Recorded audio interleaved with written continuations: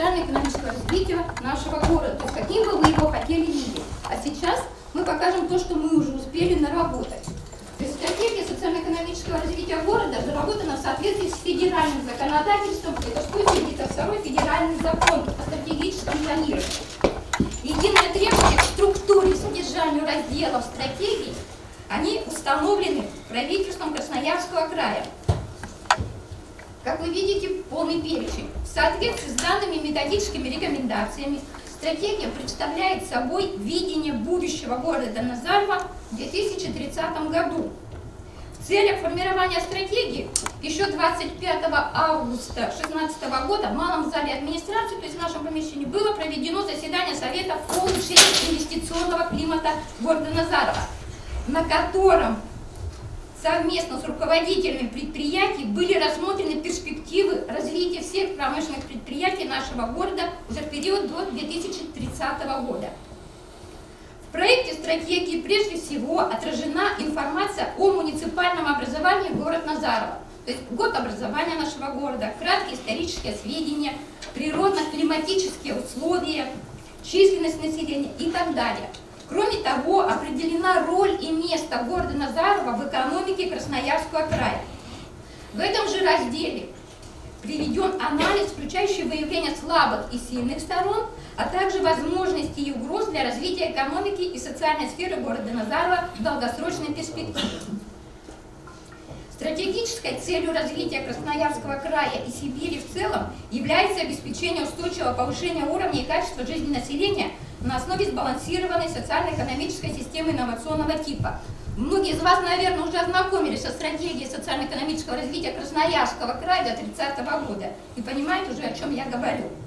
Отсюда и стратегическая цель развития города Назарова. Она определена как обеспечение высокого качества жизни населения на базе эффективного развития экономики города. В этом же разделе мы привели формулировку миссии города Назарова – то есть город Назарова – это город устойчивой экономики, социального партнерства и роста качества жизни горожан.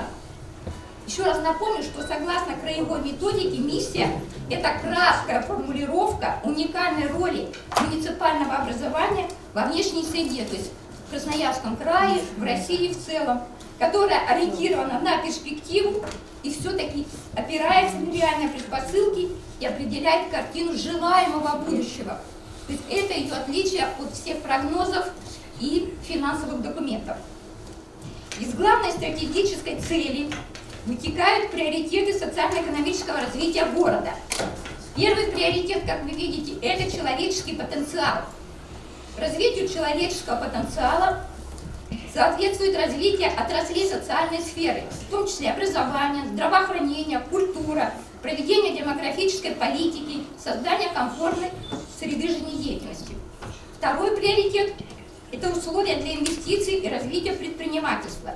То есть создание условий для привлечения инвесторов на нашу территорию и для работы новых предприятий на нашей территории. Это развитие малого бизнеса и выявление наиболее перспективных отраслей и производств. И третий приоритет – это эффективное управление.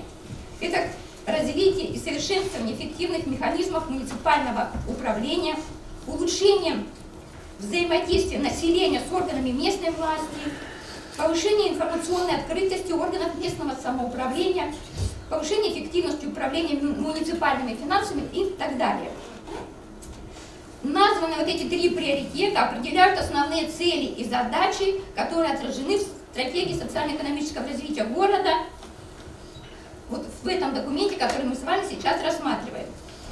При определении роли и места города Назаров в экономике Красноярского края главной особенностью является то, что город входит в состав западного макрорайона, являющегося основным агропромышленным производителем Красноярского края. То есть в стратегии, стратегии самого Красноярского края город Назарова не упомянут, упомянут Назаровский район. Это говорит о том, что правительство а, края на уровне на своем уровне видит развитие только через развитие в основном агропромышленного комплекса. Территория города составляет, как вы видите, всего 87 квадратных километров, составляет около 0,04% от общей площади территории Красноярского края. Численность городского населения на 1 января 2017 года составляла 50 397 человек. То есть по численности наш город занимает девятое место среди городских округов Красноярского края. Но здесь я хотела бы вам напомнить, что согласно территориальному делению в Красноярском крае всего 17 городских округов. Это Красноярск, Кашин, Боготол, Бородино, Леногорск, Енисейск, Канск, Лесосибирск, Назарова, Норильск, Основоборск, Железногорск, Зеленогорск, Шарыпа, Кедровый, Солнечный. Чтобы вы уже понимали, о чем идет речь, когда я говорю о городских округах. Как вы знаете, в течение последних 20 лет в городе отмечается сложная демографическая ситуация. К сожалению, наш город лидирует среди городов по показателю естественной убыли. За 2016 год численность населения города уменьшилась по сравнению с 2015 на 255 человек. Но в 2015 году снижение составляло еще больше, их было 393 человека. Как вы знаете, в крае идет наоборот, обратная тенденция. Численность жителей Красноярского края при этом увеличивается. Численность населения города на протяжении последних пяти лет сокращается не только за счет естественной убыли, то есть превышения смертности над рождаемостью, но и за счет миграции. Учитывая происходящую демографическую ситуацию, как вы видите на графике, к 2030 году расчетная численность населения города может составить всего 48 111 человек. Соответственно, снижается численность занятых в экономике. В 2011 году эта численность составляла 21 933 человека, в 2016 году всего 18 318 человек. То есть снижение составило 3615 человек. К 30 году этот показатель может снизиться до 15 тысяч человек. Провинциальное положение города и отсутствие вакансий квалифицированных специалистов стимулирует отток наиболее амбициозной и квалифицированной части населения города в город Красноярск и вообще за пределы Красноярского края. Далее, что мы отметим, это средняя продолжительность жизни. По городу она составила в 2016 году для мужчин всего 58 лет, для женщин 68 лет. При этом в Красноярском крае средняя продолжительность жизни среди женщин – это 73 года, у мужчин 61 год. Как отрицательный показатель следует отметить уменьшение доли населения трудоспособного возраста и увеличение доли лиц старшего возраста, что говорит о старении населения. По величине среднедушевых доходов наш город занимает пятое место среди городских округов края и уступает таким городам, как Красноярск, Ачинск, Енисейск и Норильск. В городе Назарово среднедушевые денежные доходы населения в 2016 году составили 19 257 рублей. В 2015 году эта цифра была всего 18 423. Кажется, мы с вами наблюдаем рост начисленных доходах, но тем не менее в реальных доходах это всего 98%. К 2020 году величина среднедушевых доходов планируется уже на уровне 23 865 рублей, а к 30 году этот показатель достигнет практически 40 тысяч рублей. Уровень официальной безработицы. В 2011 году он был зарегистрирован в размере 2,2%, в 2015-2016 годах безработица у нас официально территории города всего 1% составляет. К 2030 году этот показатель снизится до 0,9%. Кстати, в этом году он у нас составляет как раз 0,9%. Но я говорю, это уровень официальной безработицы. Далее, промышленное производство города. Как вы знаете, оно представлено в основном тремя видами экономической деятельности. Это добыча полезных ископаемых, я говорю о буром обрабатывающее производство и производство распределения тепловой и электрической энергии. Как у нас здесь картина с вами складывается? Темпы роста объемов промышленного производства в 2016 году по сравнению с 2015 годом значительно ниже среднекраевых. Добыча полезных ископаемых в целом по краю увеличилась практически на 30%, есть 29,7%, а в Назарово уменьшилась на 3,5%. Производство и распределение электроэнергии по краю в 2016 году по сравнению с 2015 увеличилось более чем на 18, на 18%, а по городу снизилось на 9,9%.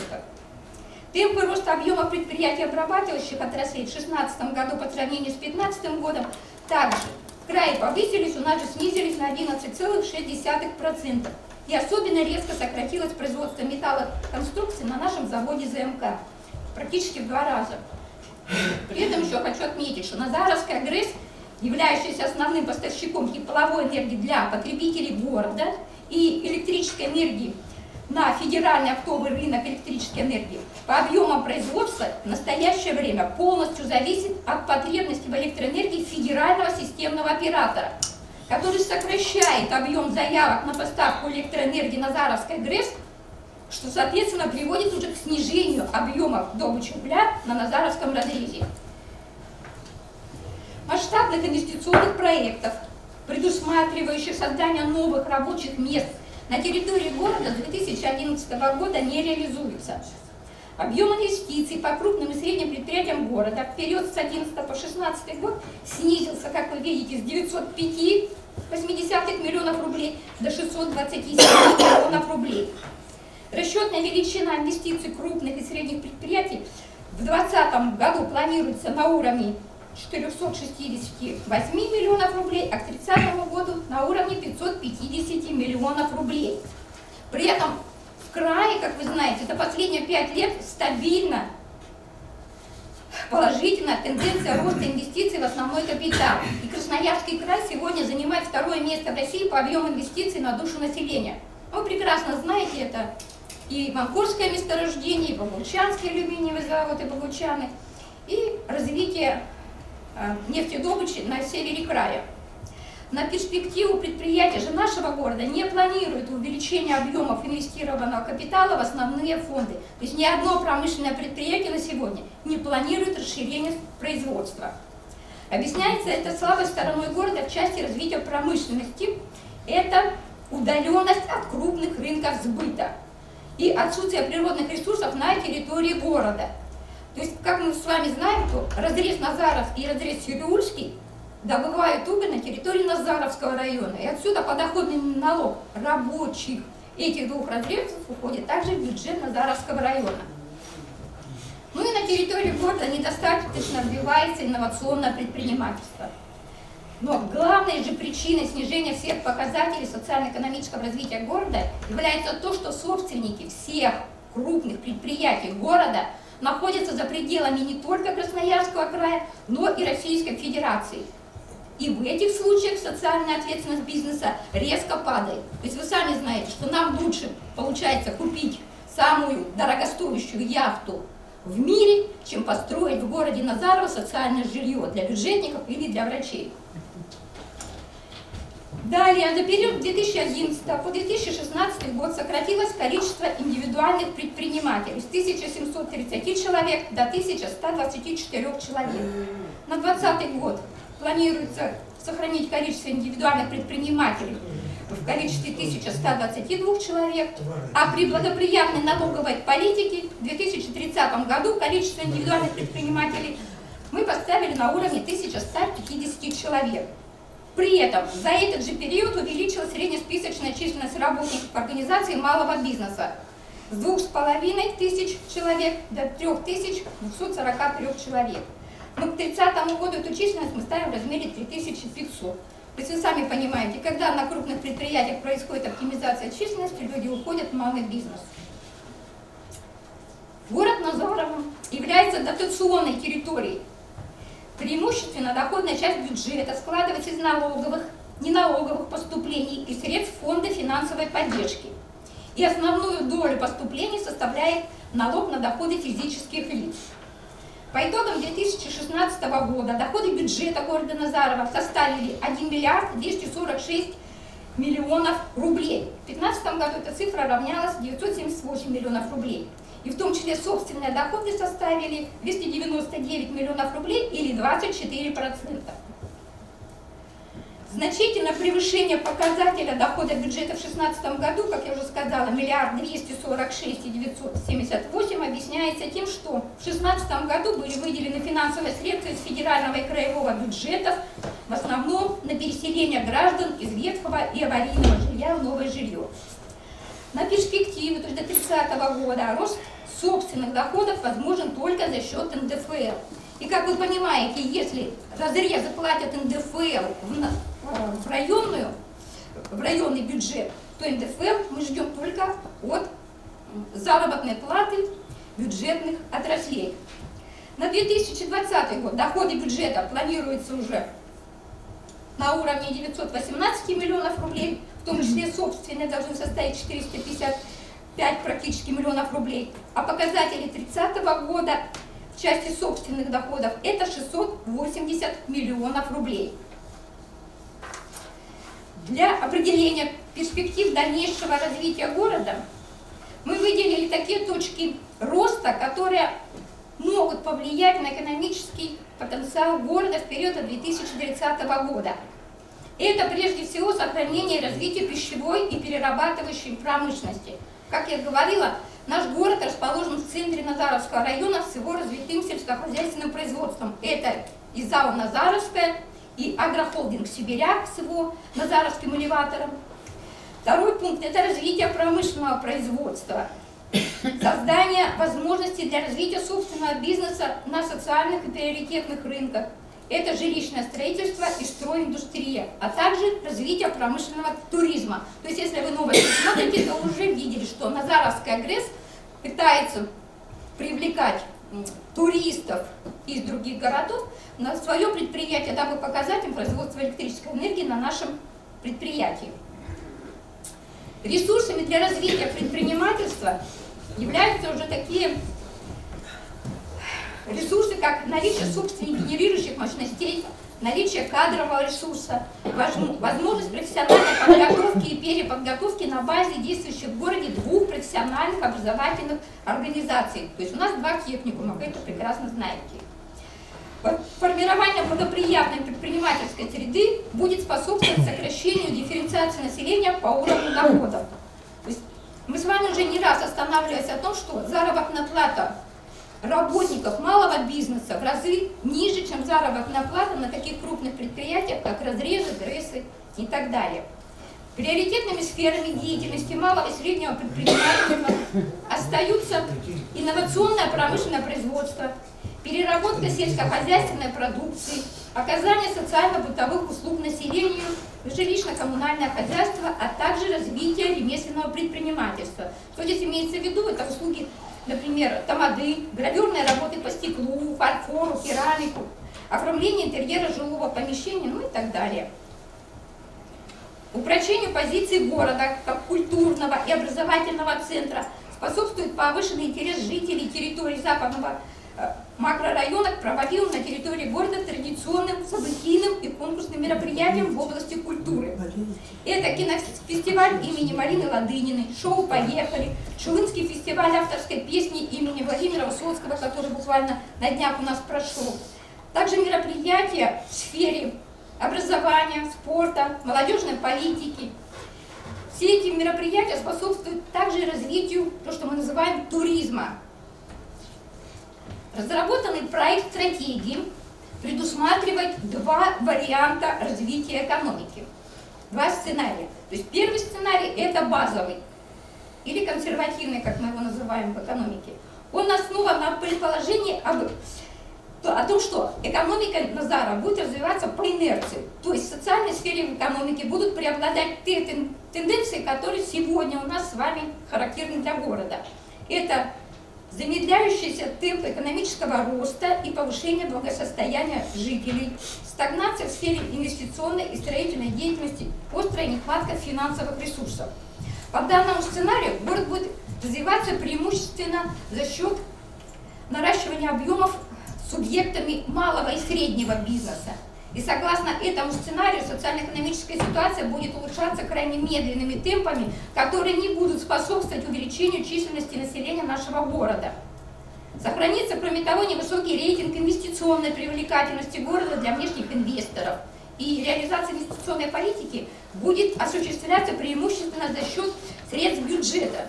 То есть мы будем ждать, пока деньги поступят из краевого или федерального бюджета, либо выделяться из городского бюджета. Стратегия социально-экономического развития города Назарова в данном случае будет сводиться преимущественно просто к поддерживанию жизнедеятельности города с помощью инвестиций бюджета. При базовом сценарии социально-экономического развития города, тем не менее, мы все равно планируем достичь хотя бы положительной динамики в небольших таких пропорциях. Это увеличение рождаемости на 24% и снижение смертности на 4,7%. Вы прекрасно знаете, что сейчас вышел закон, а, подписанный президентом Российской Федерации, о том, что в случае рождения уже первого ребенка родители получают а, государственное пособие в размере прожиточного минимума на ребенка. Правда, это касается только малоимущих семей. Далее, этот базовый сценарий предусматривает незначительный рост заработной платы, всего там 104%, рост числа субъектов предпринимательства, также небольшой, всего 7%, рост инвестиций в основной капитал, который должен составить 102%, и увеличение общей площади жилых помещений, приходящихся в среднем на одного жителя с 25 до 29 квадратных метров. Второй сценарий это умеренно оптимистичный. Он базируется на втором варианте социально-экономического развития Российской Федерации в среднесрочной перспективе и предполагает повышение эффективности использования всех видов ресурсов. Данный вариант развития характеризуется уже всесторонним использованием человеческого потенциала города. При расчете прогнозных показателей реализации данного сценария будут учтены мероприятия по увеличению рождаемости и снижению смертности, которые заложены в концепциях демографической политики на общефедеральном уровне власти, увеличение объемов промышленного производства и реальной заработной платы. Если вы все прекрасно слушаете президента, и он уже говорит, что экономика России в целом уже у нас начала потихонечку выходить из такого мертвого положения, начинает расти. Рост промышленного потребительского рынка, связанный с повышением благосостояния населения и так далее. Реализация умеренно оптимистичного варианта развития города Назарова позволит создать благоприятные условия для удержания трудоспособного населения и обеспечения привлекательной городской среды и повышения инвестиционной привлекательности территории города. Главными задачами реализации данного стратегического приоритета, который называется умеренно оптимистичный, потому и оптимистичный, что мы на что-то надеемся. Что на вашу реплику ну, отвечаю. Это содействие в реализации проектов по развитию новых и модернизации существующих производств на основе передовых ресурсосберегающих и экологически чистых технологий, в том числе проектов по видам экономической деятельности. То есть в металлургическом производстве развитию промышленного потенциала города и повышению конкурентоспособности производимой продукции способствует выход на проектную мощность завода ЗМК. При этом планируется к 30 году в 5,6 раза увеличить объем производства металлоконструкций в стоимостном выражении. И выход на проектную мощность. Проектную мощность, прекрасно, наверное, все помните, завода это 9-10 тысяч тонн металлоконструкций. Сегодня завод выпускает в 3-4 раза меньше. Выкоп на эту производственную мощность позволит ЗМК провести на заводе модернизацию оборудования, а может быть даже начать цинкование металлоконструкции, построить тот цех горячего цинкования, о котором мы говорим последние пять лет уже. Модернизация и приобретение основных средств угледобывающих отраслей. В разрезе Сереульский, в разрезе Назаровский должна стабилизироваться добыча угля на уровне 4-6 миллионов тонн в год. Я понимаю, что некоторые из вас еще помнят те времена, когда это объем достигал 15, 10-15 миллионов, но сейчас больше, чем 4,6 разрезы, оба разреза не планируют. Добыча угля подрастет, как я уже показала, до 4,7. Сегодня она составляет чуть больше 3 миллионов тонн. Индекс производства угольной промышленности к 30 году составит 116%. Производство и распределение электроэнергии и тепловой энергии. Реализация в 2013 году инвестпроекта по реконструкции энергоблока номер 7 на Назаровской ГРЭС дала возможность сохранить стабильную численность работников станции в ближайшие годы. Где-то в районе 880 человек и обеспечить к 30 году производство 9,5 миллиардов киловатт-часов электрической энергии и 1,1 миллион, миллион гигакалорий тепловой энергии. В стоимостном выражении объем выручки на данном предприятии к 30 году составит чуть больше 21 миллиарда рублей. Сегодня, то есть в 2016 году, это было всего 7,3 миллиарда рублей. Как я уже говорила, основной проблемой Назаровской ГРЭС остается невостребованность электрической энергии, производимой на данном предприятии, потому что сетевой оператор приобретает не более чем 4,5 миллиарда киловатт-часов и отдает предпочтение гидроэлектростанциям. То есть вы сами знаете, и Богучанская ГЭС вырабатывает электрическую энергию в достаточном количестве, и Саяно-Шушенская. Развитие строительной отрасли в перспективе. В целом, при проведении архитектурно-планировочной организации территории города до 30 года предполагается это стремление к компактной форме основной центральной части города, строительство в условиях реконструкции и уплотнения городской застройки. Кроме того, предполагается более четкая организация городской территории –